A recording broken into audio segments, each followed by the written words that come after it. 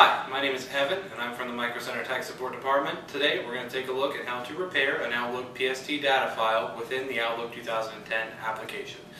The Outlook PST data file is where Outlook stores the messages, emails, and contacts that are used within the application itself.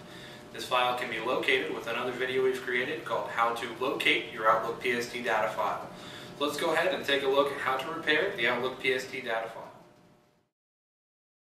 Okay, let's take a look at how to repair an Outlook PST data file with Outlook 2010. In this example, we're using Windows 7, but the steps are more or less the same with any operating system. First thing you want to have is the location of your Outlook PST data file.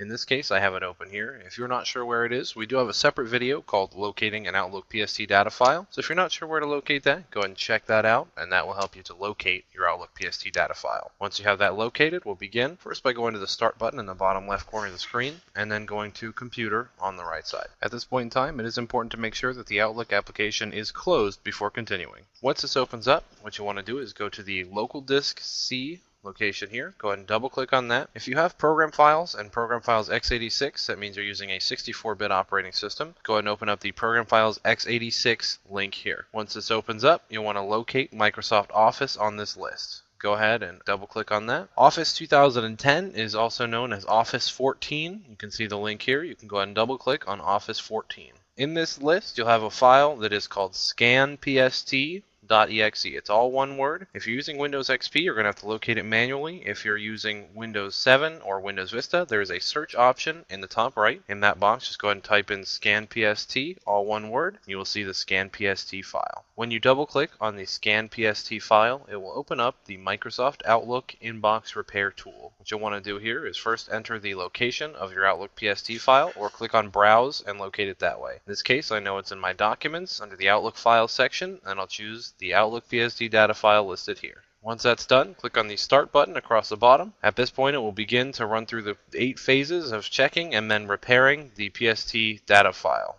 If it finds any errors, it will bring up the repair option here and offer to make a backup of the scan file before repairing. This is always recommended so that you do not lose any information when trying to repair. Once finished, click on the repair button across the bottom and it will repair the PST file. In this case, it went by very quickly as the PST file was empty. That's how to repair a PST data file within Outlook 2010. If you have any further questions or need additional information, go and visit our website at www.microcentertech.com. Thanks for joining us.